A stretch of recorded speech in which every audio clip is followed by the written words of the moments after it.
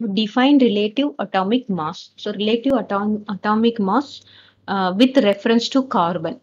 So with reference to நம்ம கார்பனை எப்படி அஹ், எப்படி define பண்றோம் பார்த்தீங்கன்னா relative atomic mass is equal to mass of mass of one atom of element atom of element இங்க என்ன நமது carbon one atom of element by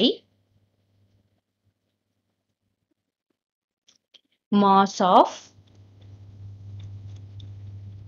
1 by 12th mass of 1 atom of C12 so இது உங்களுக்கு ஈஸியா எப்படி இது பண்ணலாம் அப்படின்னு பார்த்தீங்கன்னா total mass of the element நமக்கு ஐசோடோப்பு அதெல்லாம் கொடுத்துருப்பாங்க. Total mass of element divided by total number of atoms total number of atoms so இது வந்து ஒரு ஃபார்முலா தான் then it is a dimensionless dimensionless quantity இதுக்கு டைமென்ஷன் கிடையாது dimensionless quantity that means what it has no unit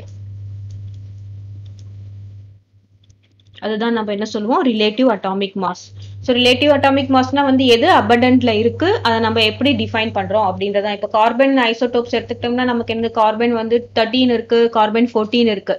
but relative atomic mass நம்மளுக்கு என்னவா இருக்கும்? Carbon twelve தான் ஐசோடோப்பா தான் இருக்கும்.